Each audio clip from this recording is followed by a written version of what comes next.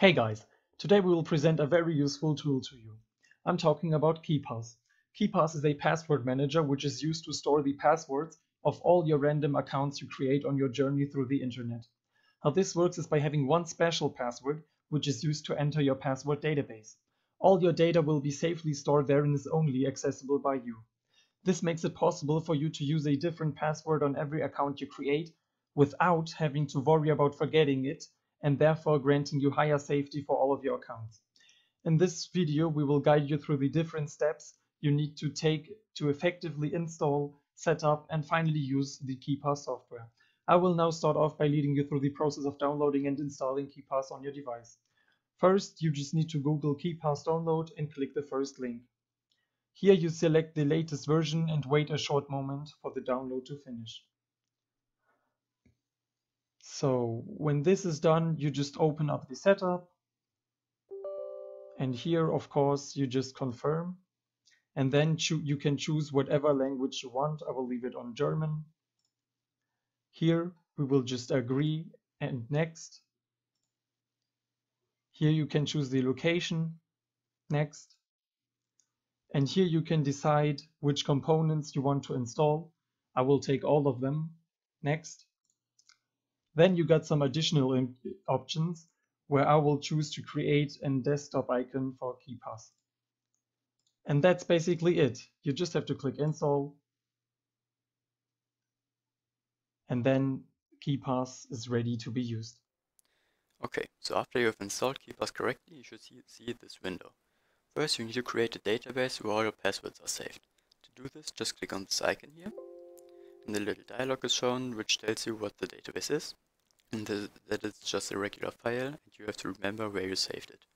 Press it OK and I just save it on the desktop. Next we have to create a master password. Um, this is basically just a password uh, to gain access to your database and so to your others to your other passwords. I just type in as password tutorial like this and hit OK. And now we have some settings.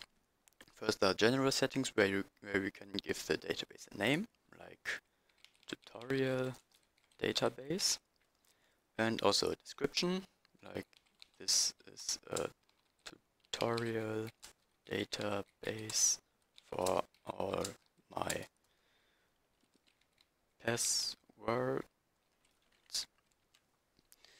um, as well um, the, dat the database name as well as the description can also be left blank, but I just typed something in. And we can uh, move to, to the next tab, the security options. We have um, many options to uh, optimize the security of our database, um, but to go into detail here would be out of scope for this tutorial, so I'll just leave everything as it is. Next we have the compression.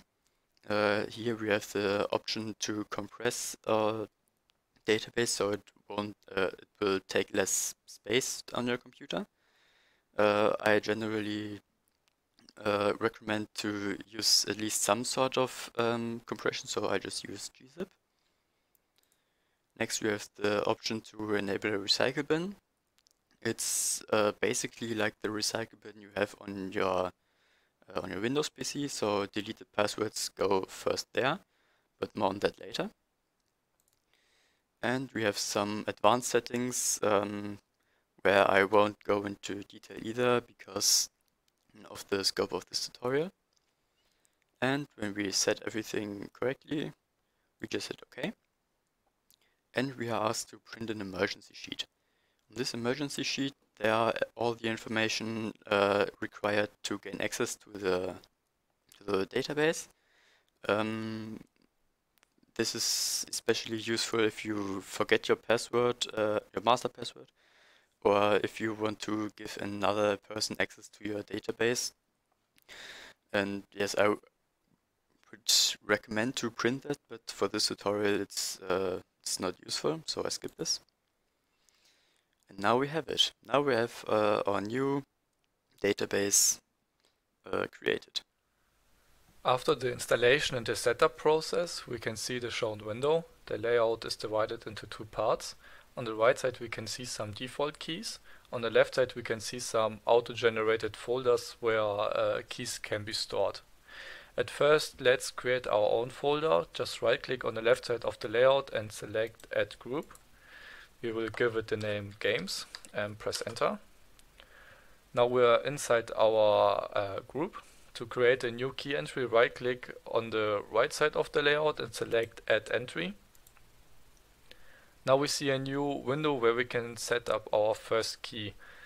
Let's store our Steam username and password in this key. For the title we will write down Steam. We also have the option to select an icon, so let's, let's choose one. Press OK. For the username we will uh, write down for example test user. In the password field we can write down our password and repeat it under the text field below. Uh, while typing you can check the quality of the password on the bar below. So let's type in our password. Then repeat it again. If you want to look up your password you can just click on the asterisk button and the password will be shown to you. Uh, KeePass also provides uh, the option the option for auto-generated password passwords. Just click on the key icon and the drop-down menu will appear. You can choose a hex key with a specific length. It doesn't matter if you can't remember this password because it is stored in KeePass anyway. Now we have to uh, pass in the URL. I will just select the web login from Steam pass it in there. We also have the option to take notes and set an expire date. I will just press OK. Now we have created our first key in our new folder. We'll double click on the URL. The web browser will open with the Steam uh, login site. Now you can just double click on the username and password field and pass it into the website but uh, take note that you only have a 12 seconds timeline for passing in the selected password or username because of KeePass safety reasons. So let's say we want to delete our entry and our folder. We will just right click and say delete entry, confirm. Right click on the folder, delete group and say yes. Now we can see that the folder and the key are stored in the recycle bin. Um, the recycle bin works like in Windows, so we have to clean the recycle bin to completely delete our uh, input. So empty recycle bin and confirm. That was our little tutorial about KeePass. I hope you liked it. Um, write on a comment, press the like button and stay tuned for more content. Thank you.